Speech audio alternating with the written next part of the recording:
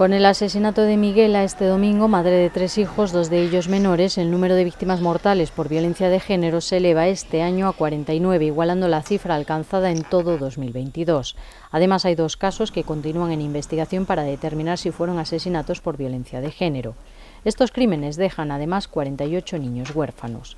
El detenido por la muerte de Miguela, que se entregó la noche del domingo, tenía denuncias previas por maltrato machista, como otros 10 de los presuntos feminicidas.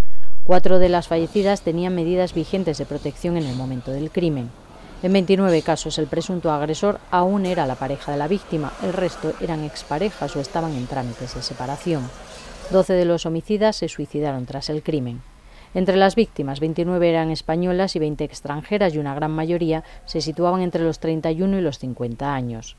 Andalucía es la comunidad más golpeada por la violencia machista, con 16 asesinatos. Le siguen Cataluña con 9, Comunidad Valenciana con 5 y Madrid con 4.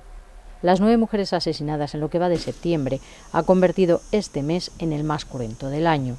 El próximo 4 de octubre, el Ministerio de Igualdad celebrará un comité de crisis para analizar este repunte, junto a Interior, Justicia, Fiscalía, Consejo General del Poder Judicial y las comunidades autónomas. Será el quinto comité de este 2023.